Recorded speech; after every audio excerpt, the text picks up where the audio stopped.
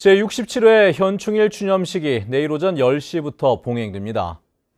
지난해 문을 연 국립묘지인 국립제주호국원에서 처음 열리는 이번 추념식에는 보훈 단체장과 도내 국가유공자 가족 등 500여 명이 참석해 묵념 사이렌을 시작으로 헌화와 분향 등의 순서로 진행됩니다.